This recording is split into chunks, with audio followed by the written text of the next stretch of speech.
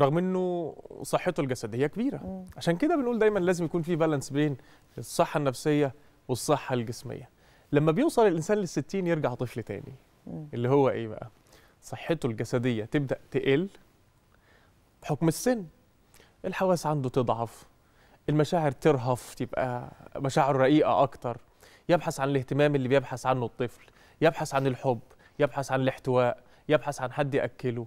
يبحث عن حد يطبطب عليه يبحث عن حد يهتم بيه يبحث عن حد ياخد رأيه يبحث عن حد يحسسه بوجوده يبحث عن حد يستفيد من خبراته. يعني بيرجع طفل تاني. لكنه طفل ناضج طفل كبير وعنده قدرات ورصيد من الخبرات إحنا للأسف ما بنعرفش نستغلها. طيب بعض الناس بتخاف من الحياة بعد الستين. كلنا. كلنا. طب نعمل إيه علشان ما نخافش؟ كلنا. طبعا بنسمع كلنا يقول لك آه، الحياة تبدأ ما بعد الستين العمر مجرد رقم. الع- العمر مش رقم العمر سنين. مم. بس على حسب السنين دي انت مليتها إيه بالظبط.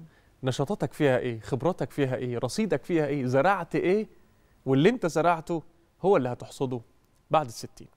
الحقيقة الحياة كل ما كانت أسرع وكل ما كان رتمها أعلى وكل ما كان فيها آه، جانب مادي جديد كل ما ده بيطغى على الجانب الإنساني. إزاي الكلام ده؟ إحنا وإحنا شباب يعني أنا مثلا دلوقتي أنا متجوز ومخلف كل همي في الحياة ده تفكير بعض ال- الناس. ولادك.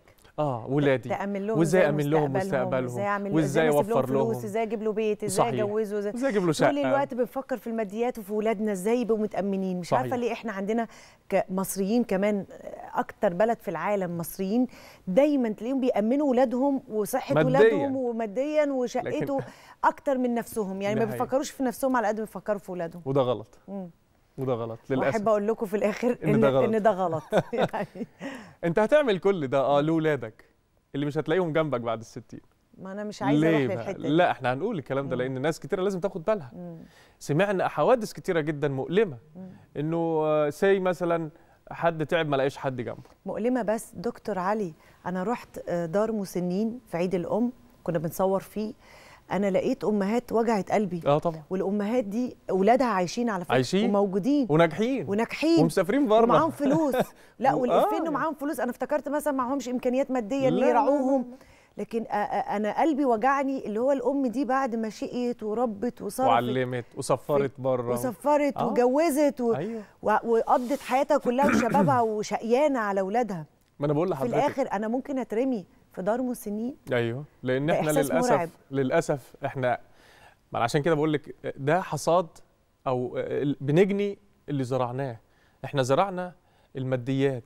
أأمنك ماديا أعلمك كويس أدخلك مدارس كويسة. لا برضه لو أنت آه ده مطلوب. مهم. دورك. كلكم راع وكلكم مسؤول عن رعيته.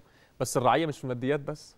أنت لازم تعلمه الحب لازم تعلمه الأبوة لازم تعلمه اللمة لازم تحسسه بالدفى والعيلة وال... لو اتربى على ده واتنشأ على ده هتلاقيه جنبك لما تكبر. للأسف أنا يعني برضه بقابل حالات كتير جدا. وفي دور مسنين أو في شقق عادية آه. تلاقي الأم قاعدة. هي آه ست كويسة وتمام بس قاعدة لوحدها. فين آه. ولادك؟ والله ابني اللي مشغولين. اللي بره آه. واللي مسافر. واللي اتجوز وساكن مش عارف فين. ده حصاد اللي انت زرعته. انت زرعت فيه البعد المادي بس. ما زرعتش الونس. ما زرعتش الدفى يعني وبرضه إيه برضه؟ بنلوم على الجيل يعني إيه الصغير